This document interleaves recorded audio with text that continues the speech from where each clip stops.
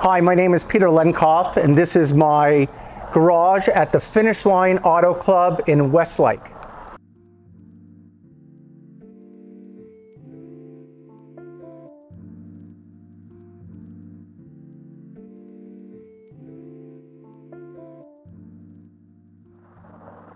And uh, what I tried to do here was I tried to do something that was a little different than most garages. I tried to do something that really was uh, representative of my personality, something that was very uh, eclectic, very different. Uh, there's no real scheme in terms of collecting. It's just things that I like and things that I've coveted over the years. All right, this is 1960 Autobianchi. It's um, I think it's about 499 cc's. It's uh, two cylinder. Uh, I drove this car on Jay Leno's garage last year, and Jay pointed out that these white walls are actually uh, an add-on. These are not real white walls. These are uh, just something that you put on more for aesthetics than anything. Um, it's a four-speed uh, uh, convertible made by, originally made by Fiat, and, um, and it's just a fun car.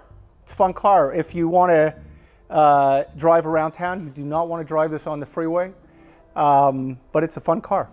This is my 1958 uh, Porsche Speedster. Uh, this was a car that I, as a young boy, really coveted, wanted one very badly. Um, you know, everybody uh, associates James Dean with these old Porsches, and I guess uh, everybody that's into cars uh, eventually wants one, wants to add one to their collection. And uh, I found this um, in Los Angeles in uh, pretty poor condition about uh, 10 years ago. Uh, had it, um, did a rotisserie paint job on it. most everything is original except for the paint. Um, kept the seats the way they were, kept the steering wheel, uh, kept everything uh, as original as possible. Just needed, it really just needed a paint job. Uh, maybe in hindsight, I probably uh, would have liked to have the patina on it, but uh, I think I'll get there because this is definitely a driver for me. This is my 1955 Mercedes-Benz 300 SL Gullwing. If there was a car I never thought I'd own, this is it.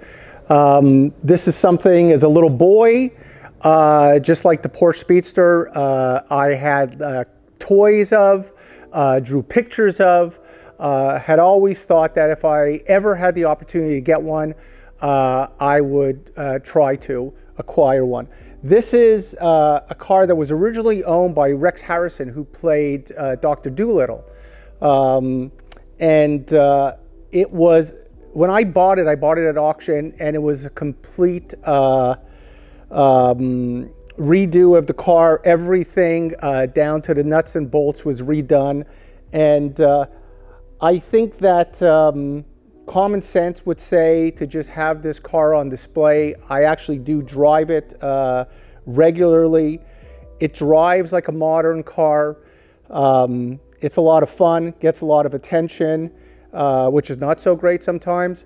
Um, but it's, uh, it's one of those cars that I think that if you have a collection, uh, it's one of those cars that would definitely be the uh, centerpiece of, of, of it. This is a 1960 uh, Alfa Romeo Romeo 2 Auto 22. It's a small bus. These vehicles were used as track vehicles to transport crew around the racetrack.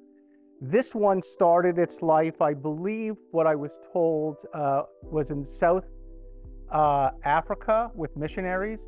And um, I found it uh, in this condition in uh, Paris, France, had it shipped over.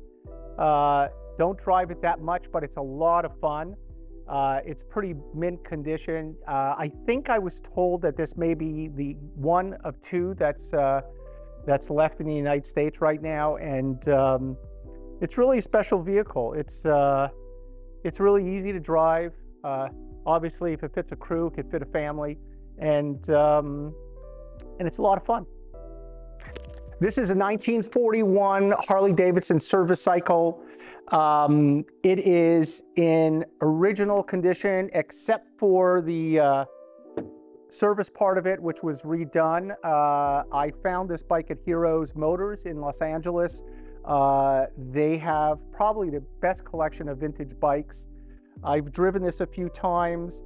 The history with this bike is that it was supposed to be a Louis Vuitton uh, delivery vehicle in Paris. And I like to believe that that is true because um, it says so on back, but uh, you never know with these bikes, but it's you know, really original and uh, and it drives and it's uh, it's uh, a real testament to uh, American-made uh, motorcycles.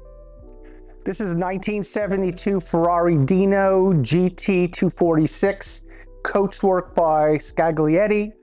Uh, it's a car that I bought um, at auction a few years back. Don't have a long history with it. Been driving it pretty sporadically. It's a really fun car for me this is really the uh, best looking Ferrari or vintage Ferrari out there. And uh, car I've always wanted, car that I think in this color is particularly uh, beautiful. And um, despite the fact that it looks pretty pristine, uh, I do take it out a lot. This is a 1962 Triumph Tiger Cub. This bike was in pieces on the living room floor of MacGyver, a TV show um, I did. Um, and this was a bike that uh, the main character, MacGyver, played by Lucas Till, was assembling over the first three years of the uh, series.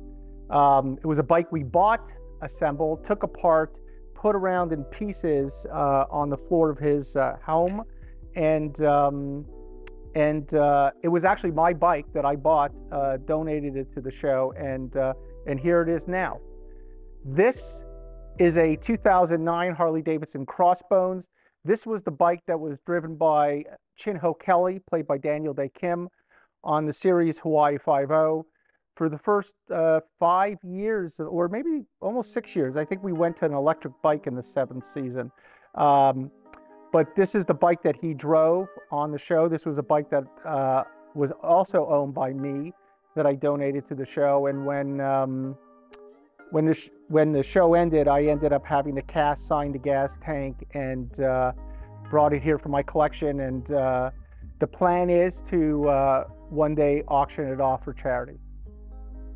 I think one of my uh, favorite pieces of my collection are these sunglasses here that were originally owned by Steve McQueen and were given to me by an actor named Larry Manetti. Larry played uh, Rick on the original Magnum PI. And uh, as Larry tells the story, he was, uh, I believe it was Chicago, at a hotel. He saw Steve McQueen.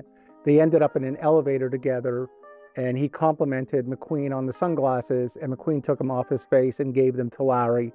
And about three or four years ago, Larry gave them to me knowing that I was a big Steve McQueen fan. Another piece that I'm really proud of is this letter by Stirling Moss um, and this is goes back probably about 10, 11 years ago. Uh, I found out that his wife, Susie, was a big fan of a TV show I did called CSI New York. And um, I sent her some uh, swag and some signed scripts. And uh, he started sending me some gifts. And uh, this letter is something that I truly treasure, uh, having been a huge fan of uh, Sir Stirling Moss. And um, just want to say Thank you for uh, coming to my garage today. My name is Peter Lenkov, and it was a pleasure having you.